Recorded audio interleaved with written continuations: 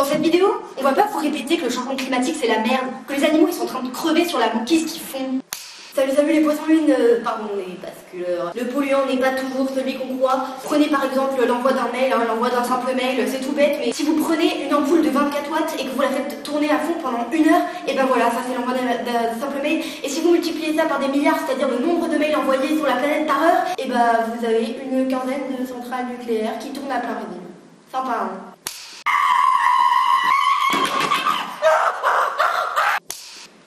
Euh, salut à tous, euh, bienvenue sur la page de La Bascule.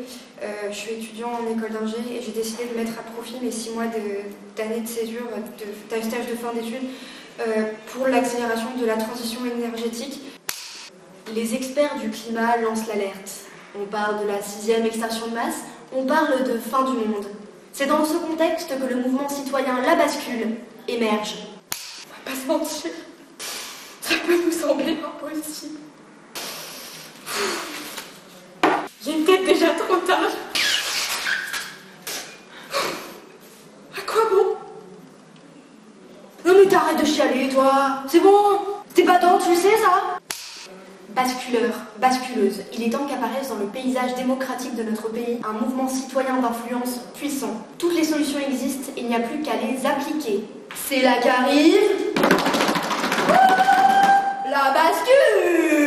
la bascule, c'est un mouvement de lobbying citoyen qui a été créé il y a quelques semaines, insufflé par Maxime de Rostolan, vous le connaissez peut-être. C'est un mouvement qui fait pari d'inverser le rapport de force. Comment? Par le nombre et par une vision du monde infiniment plus désirable que celle qu'on nous offre aujourd'hui. Étant euh, des ingénieurs, un peu introvertis, pas forcément très sexy, ils ont fait le pari de s'adresser à moi en tant qu'artiste pour parler un peu du mouvement. Ouais, ok, ok, ok, mec, mec, mec, il y a eu le GIEC, il y a eu les documentaires sur les pingouins, il y a eu Prêt, il y a eu le film Demain, il y a eu Après-demain. Je peux faire avant-hier là, enfin, c'est quoi le nouveau truc là? Avec la bascule, on parle d'une feuille de route, on parle de propositions politiques, on parle de réinventer le paysage politique, on parle de former des milliers de citoyens à être candidats aux prochaines élections municipales, on parle de créer une plateforme collaborative et décentralisée pour s'organiser et s'affranchir des géants du web et la manipulation de nos données. On parle de financer des entreprises de rupture à impact.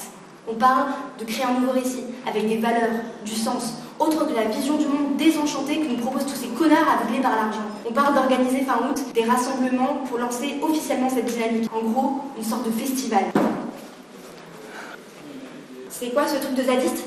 Pour l'instant, la bascule n'a ni structure ni posture. La bascule annoncera fin août une feuille de route, une stratégie et un positionnement politique. Chacun des chantiers qui nous attendent pour atteindre ces objectifs et préparer ces rassemblements fin août seront menés par des groupes de travail. Ça va du groupe de com à groupe de financement, à euh, cellules territoriales, à gouvernance, à entreprise, bref, un peu de tout. Ces groupes de travail, ils seront collaboratifs, coopératifs et ils s'appuieront évidemment sur les travaux et les acteurs qui ont travaillé et innové sur ces différentes thématiques et sur la transition écologique jusqu'à aujourd'hui. Le premier et immédiat pari de la bascule est d'identifier une centaine de personnes en mars qui seront prêts à se mobiliser avec elles jusqu'à fin août pour l'organisation de ces rassemblements. Euh, en fait, j'ai une vie. Alors bien sûr, on a aussi besoin de citoyens, de bénévoles qui sont prêts à s'engager quelques heures par mois, quelques heures par semaine, ponctuellement ou de manière plus durable.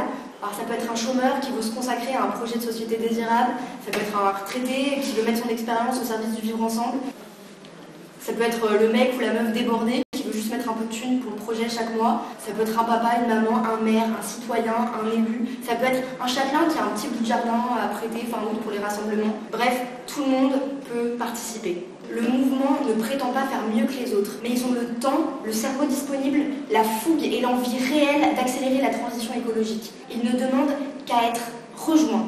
Ça se passe sur 6 mois pour la bascule.fr.